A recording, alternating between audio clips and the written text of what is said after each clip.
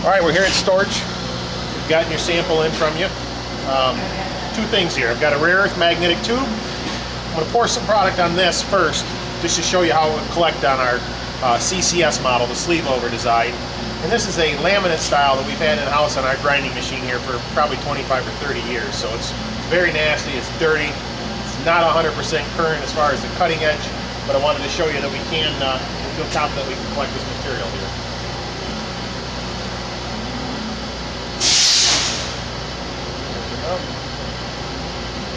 You get it? Okay.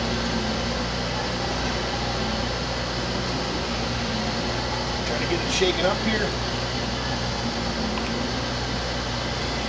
I'm just going to pour a little bit of this across this tube to give you an idea of what we think.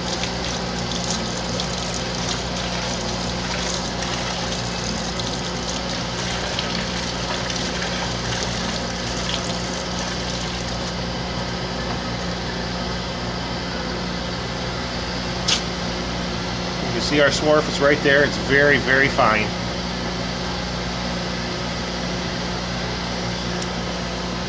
Now, I would suggest that with something this fine, you're going to want to buy the squeegee option from us. What the squeegee is going to do, if you if you look in this area right here, um, there's a lot of carryover coolant. There's two different ways to do this. One, the scraper angle can be very aggressive, so the product comes off the roller.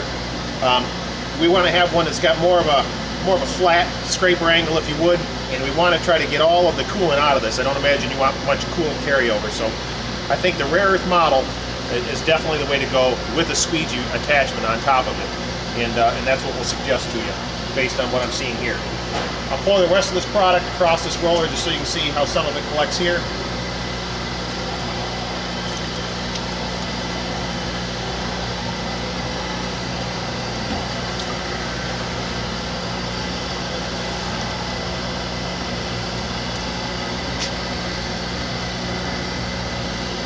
And it's hard to tell, but you can see we did collect this real here. It's very, very fine.